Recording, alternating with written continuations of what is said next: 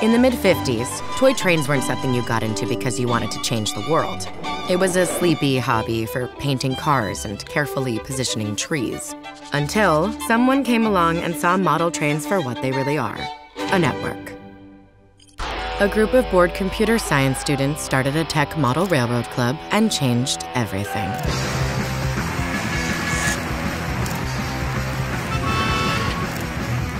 The gang broke into the college's mainframe. They soldered in phone lines to control trains independently. Where most saw a dorky hobby, they saw the potential to derail a whole system. They even wrote a dictionary to define what they were doing, applying ingenuity to create clever results. Or as they called it, hacking. And just like that, the world's first computer hackers were born.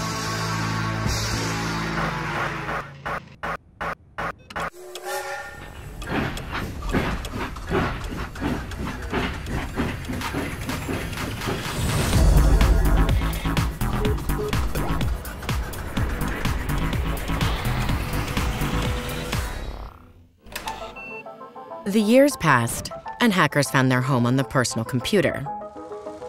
There, they rediscovered the thing that they knew best networks. Nothing had changed. They were still testing what their toys could do. Only now, networks had become central to our lives banking, transport, agriculture, governments. Suddenly, hackers had the power to derail much more than toy trains. Some used that power for their own gains. Funded nation states waged war, criminal gangs stole millions. And then, they came for people. The data of billions of users who rely on the internet to live their daily lives. And who could stop them? The only ones who understood the internet like the attackers, the hackers. Those who were breaking the system in order to make it safer, the ones who saw the system for what it was a network worth protecting.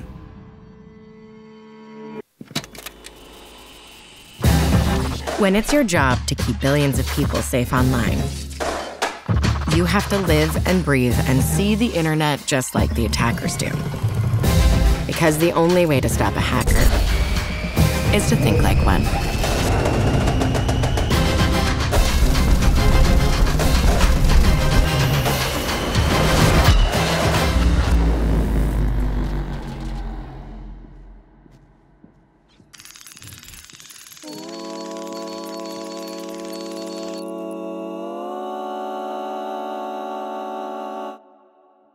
This is not weird at all.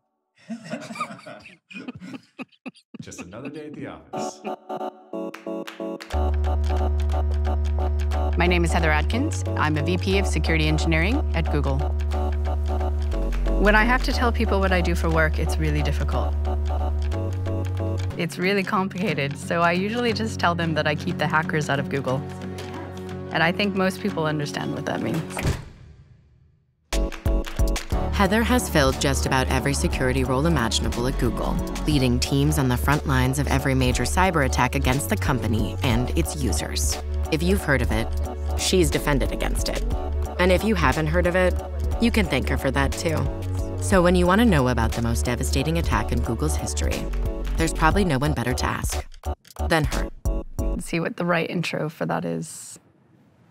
Um, what better intro than the song of the summer? Welcome to 2009. 2009 was an exciting time at Google.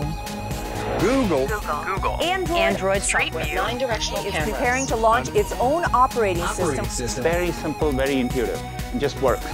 building new and interesting products and building security into those products and the infrastructure. We thought we were doing a pretty good job. So it was a, a shocking moment to have everything sort of stop. December 14th. It was around 4 p.m just come out of my last meeting of the day, returned to my desk, and found a a hive of energy nearby. Everyone standing around a computer, sort of talking, and They told me that they found some very interesting activity.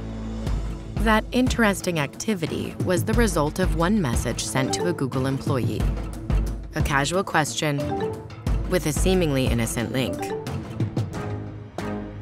On any given day, there are over 5 billion links clicked across the internet. But this particular link changed the course of cybersecurity history. It opened a website hosted across the world and started invisibly downloading malicious software onto the Google employee's computer. And just like that, they were in. The attackers used that single entry point to establish a foothold on Google's network.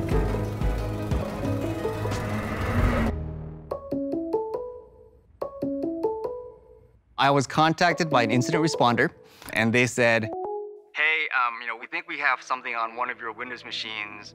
So the pull for me into security was one uh, that was kind of cataclysmic, I, I, would say, right? But it really struck me as something that, that I wanted to be part of.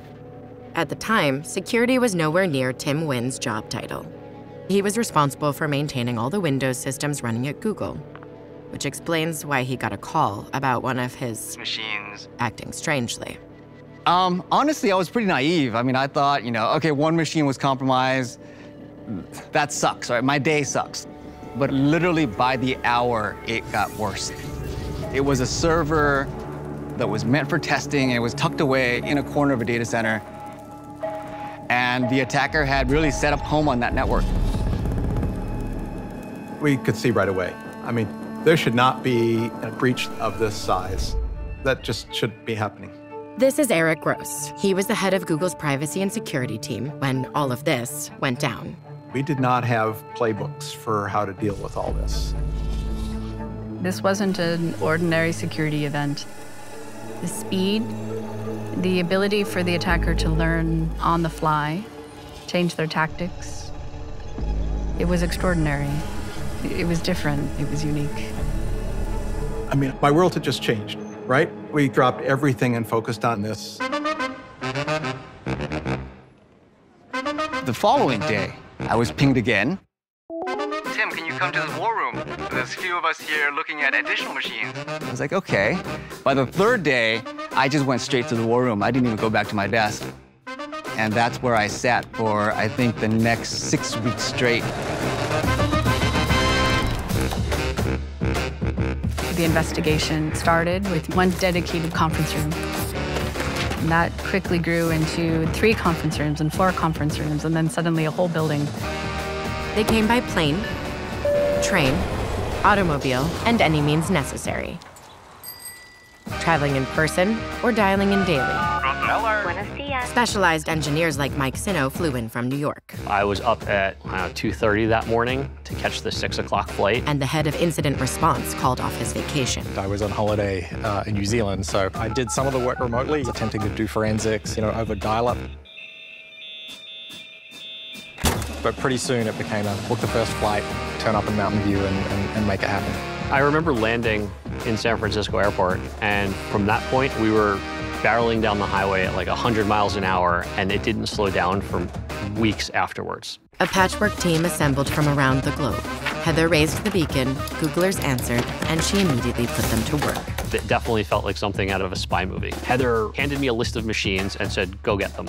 Go pull hard drives out of machines all over campus. And this is in the middle of the night. So we hop in the rental car and we're driving around campus in the dark. We've got a bunch of flashlights running through buildings, capturing machines to do forensics on it. First, we started trying to unscrew and pull the hard drives out, but we decided that was taking too long. So we were just taking the machine. Just unplugging their systems and leaving a post-it note for them because security was here. Please call this number. We had a stack of hard drives and a stack of machines in the trunk of the car. By that stage, we had a number of people just kind of churning through, looking at the different systems and figuring out like what happened on this machine. While the team was running forensics around the clock, Heather raised the alarm for others in the industry. And I got this call from Heather Adkins, who wanted to chat with me about something that they had discovered at Google. Enter Dmitry Alperovitch. He's the chairman of Silverado Policy Accelerator, a global cybersecurity think tank. But back in 2009, he was honing his craft at a security firm called McAfee. What began as professional courtesy turned into partnership as Dmitry and his team were willing to roll up their sleeves. Google shared malware code with us, zeros and ones effectively. So we immediately put a team on trying to dissect that exploit, understand how it works. And most of it is mumbo jumbo to an average person if they're not uh, proficient in programming. But occasionally you see these code words that would be recognizable to anyone. The word Aurora jumped out immediately in those first minutes of looking at the malware. Aurora. Why would that jump off the page? Well, October 1917. A shot rings out from a Russian ship patrolling the Baltic. The shell was empty, the message wasn't. A shot that would start the Russian Revolution and forever change the course of the 20th century. And the name of the battleship that fired the fateful shot? You guessed it Aurora. When I saw it, I instantaneously knew that I had to name the whole operation Aurora. Because just as the battleship Aurora fired a single shot that sent shockwaves resonating decades afterward, Operation Aurora in cyberspace, I think, had a similar effect. The world has changed. We had to change everything about the industry's approach to cybersecurity to deal with this new threat.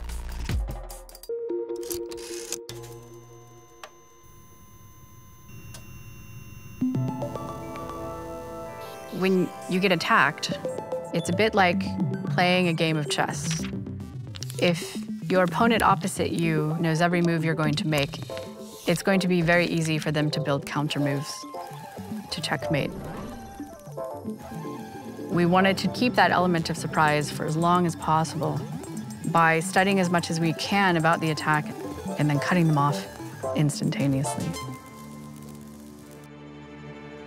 The team went to great lengths to keep the investigation absolutely secret. We pretty much had to lock down the entire floor. There was a secret list of who could come in or out. We would put security guards outside the door, a little bit speakeasy style. You had to kind of know how to get in. Even cleaning staff weren't allowed in the main war room. Pizza boxes and empty coffee cups kind of sprayed throughout the room. It was it was smelly for quite some time. They stopped corresponding with each other online. Just in case we were being watched. The access controls to the room were tight. We had senior VPs, we had the founders of the company with us. It was, you know, it was tense. As you're building this picture of how the attacker is working, it's a rush of adrenaline because you can start to plot points of how to eradicate them from the network. The team narrowed in, set traps, and positioned themselves to move on the attacker. There was only one problem holiday break. We always wonder if the attackers pick the holidays on purpose. They know most people aren't paying attention during the holidays. It wasn't our first Christmas where, you know, something interesting had come up. Just before springing on the attacker, the team pivoted. We suddenly decided we wanted to be very radical in our approach. So, what was that radical approach? We knew we had to get everyone off the network now. We had to make the biggest change we ever made to our infrastructure, and we had to do it in less than an hour. And who would be responsible for pulling the trigger? I, you know, I, I drew the short straw, so part of my role was really to cut off everybody from the network. That's right, everybody. Google engineers, security researchers, even Heather. Yeah. Were to be cut off from the network and their passwords reset. I did not make any friends at the company over Christmas. This was the only option to make absolutely sure that any hooks the attacker had at Google were completely eradicated. And with that, the team hit go. Systematically purging the attacker from all systems all at once. The attacker was banished from the network. But one question still remained. Who was behind this attack? On January 12th of 2010, Google announced it had witnessed a sophisticated and targeted attack. It was shocking. Google was one of the first companies ever that voluntarily disclosed that they've been hacked. And in the investigation of that event, we found that at least 20 other companies were compromised as well. we were able to lend some experience that we'd gathered. Not only did they come out and publicly reveal that they'd been hacked, but for the first time, they were able to attribute an attack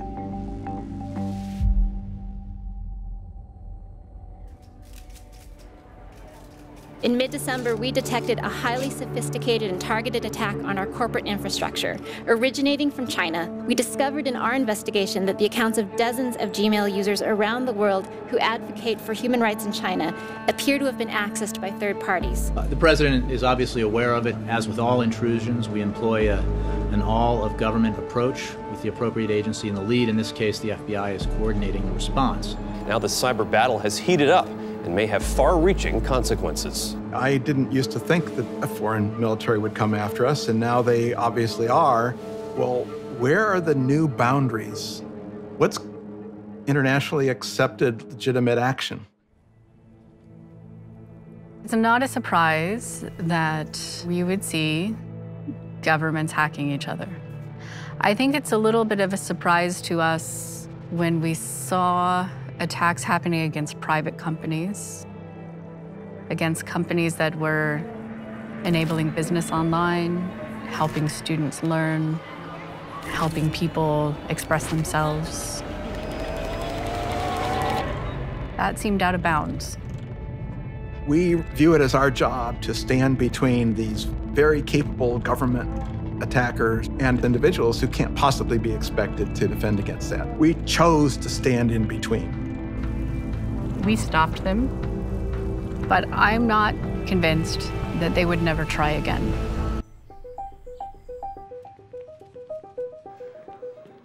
So we decided we wanted to start making radical changes, not just rebuilding things the way that we had them before, but we wanted to do things completely different.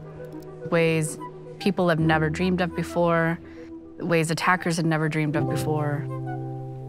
We were gonna change the battlefield.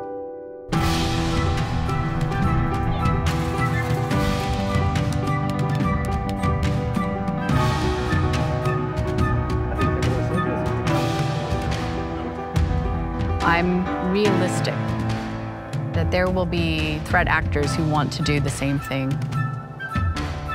But if they do try again, I want them to have a very bad day.